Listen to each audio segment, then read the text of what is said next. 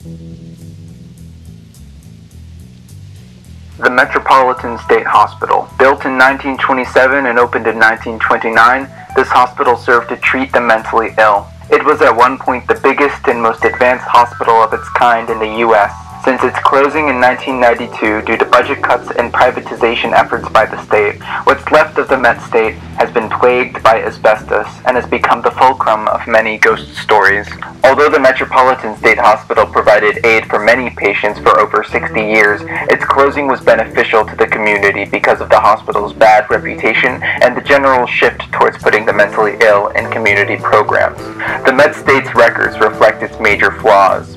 The following are the annual reports from 1931. 53 resignations, 37 discharges. It is of interest to note that over a period of years, original diagnoses made at the time of commitment would very often prove incorrect. Opening, 86 employees, 1 employee per 6.6 patients. A year later, 1 employee per 13.1 patients.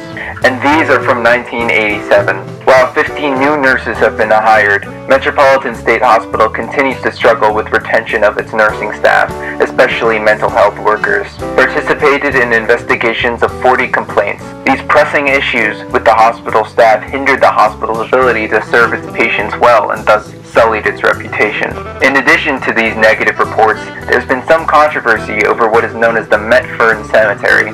This cemetery contains the unnamed graves of around 350 ex-patients of the Met State Hospital, as well as the Fernald Center, which is located close by. These graves are marked only with the religion of the ex-patient and a number, and have often been covered by vegetation. The people in these graves are known to be mostly children and adolescents. Currently, people view this treatment of the deceased as inhumane. Groups such as the Danvers State Memorial Committee are pushing to learn the backgrounds of those buried and hold a proper memorial for them. In the words of Bill Kapoor, a former patient of the Met State, these people were cheated in life and now they are being cheated in death. However badly these points may harm the hospital's reputation, Met State's most prominent story concerned a murder. In 1978, Anne Marie Davee, a patient of the Met State, disappeared from the hospital. Much later, it was determined that she was murdered by co-patient Melvin Wilson. He dismembered her with a hatchet and buried various parts of her body at different sites of the hospital. Strangely, he kept seven of Davee's teeth, earning the hospital the unflattering nickname of the Hospital of Seven Teeth. An investigation of this incident was not officially made until two years later, and almost 20 reports of negligence by the mental health workers were examined. The woman's death was only publicized almost a full year after her disappearance after the Senate investigated unexplained deaths at state institutions. The story itself is horrific, but the way that the hospital neglected the event afterwards is perhaps more appalling. More than 165 years ago, Massachusetts led the nation in building a network of public asylums whose spacious outdoor campuses provided fresh air and a serene environment for the mentally ill. With the passage of time, these facilities have become increasingly obsolete. Contributing to their obsolescence were the dramatic changes in psychiatry and the community health programs that have taken place over the past 40 years. Richard A. Hogarty, 1996.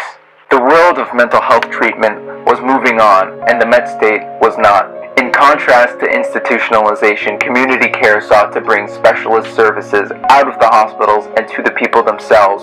There was an initial scare when the Met State was closed down due to privatization by the state. Admittedly, the hospital was disorganized in the transition to community care, and not all patients found a home immediately. However, the mass closing of state hospitals was ultimately good for the mental health treatment scene as a whole. The inherent problem with institutionalization is that patients that are deemed unable to function in normal society are placed in isolated care, then are eventually released under the premise that they are quote unquote cured, then admitted back into the facility again because their time in isolation did nothing to improve their social skills.